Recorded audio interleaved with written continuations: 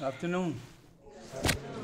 I'd like to welcome the family and friends of the bride and groom who have come to be part of this joyous, wonderful, and blessed day, the wedding of Wilfredo and Nadine. I'd like to share a few words. It is a true joy to be with Wilfredo and Nadine, to be part of this glorious day, to be surrounded by family and friends, those who care deeply for both of you. I considered it a true privilege when you asked me if I would officiate at your wedding ceremony. You truly honored me, and I will never forget this day. Everyone who has been married in the state of New York has a marriage license, right?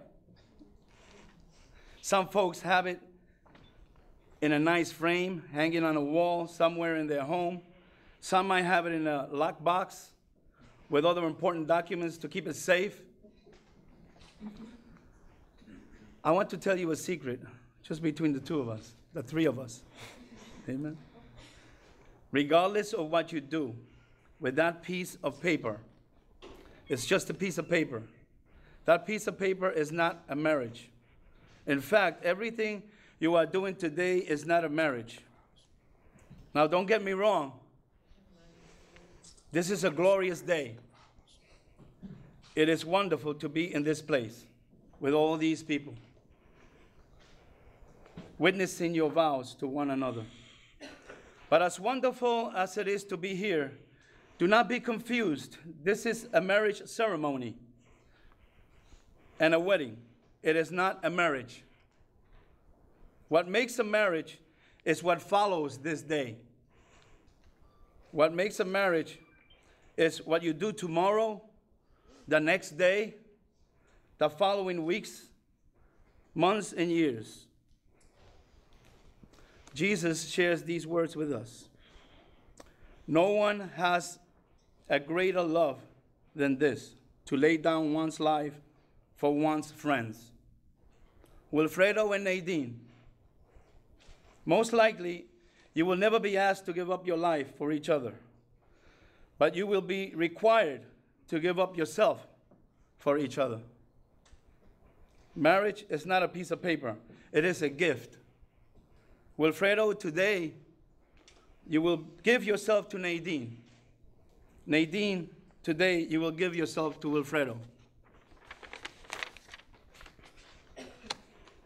You will give rings to each other as a symbol of that giving, as a symbol of your solemn vow before us and before God.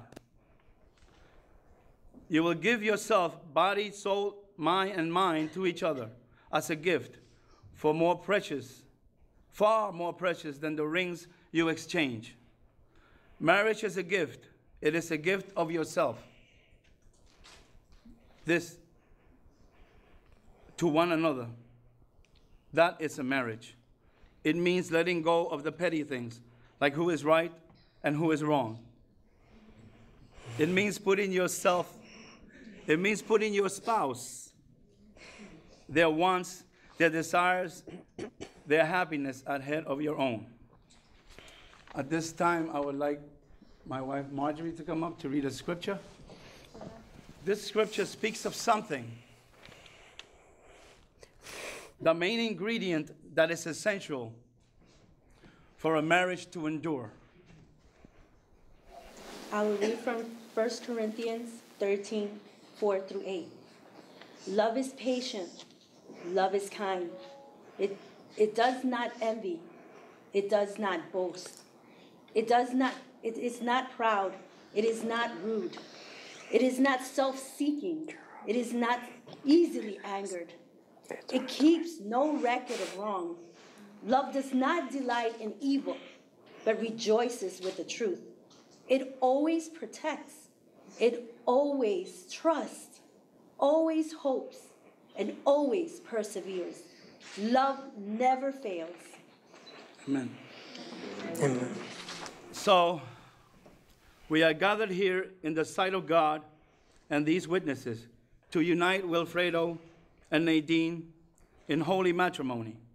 as believers in Jesus Christ, they recognized that it was God who instituted marriage and who said, It is not good for man to be alone.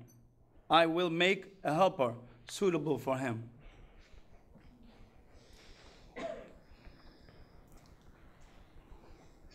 The Lord God had formed out of the ground all the beasts of the field and all the birds of the air.